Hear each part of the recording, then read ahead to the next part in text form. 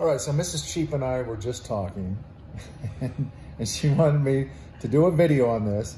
Two things that I have tried to perfect, and I can't. With Christmas coming up, the perfect Christmas cookie. I used to have a dear friend named Elena. She's, she's no longer with us, and she would make the perfect Christmas cookie. They were so good, and I don't know what her recipe was. I mean, she would make them dozens and dozens and sell them to people. They were so good.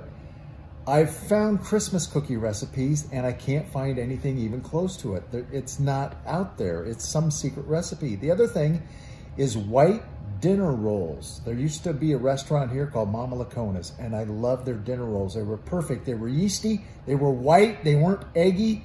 They were perfect. And also, uh, is it Big Sky, right? Yes. They make perfect dinner rolls, the ones I want. I have searched for, I've made, Mrs. Cheap, how many dinner rolls have I made? I've made 50 different dinner roll recipes and they're just not the same. Why You're actually cut it? off from making more. Why can't I find the those perfect, it, it's a secret for some reason. Why is it a secret? Please help. yeah, help me. Submit recipes. I'll look at. I I don't know what it is, but that's just what frustrates me. And it's probably good that I don't find them because if I did, I would make them and just eat them all the time. But Mrs. Cheap does make the perfect cashew brittle, and we're gonna show. I'm gonna make you do that. We're gonna show that recipe coming up soon before the holidays with John Eats Cheap.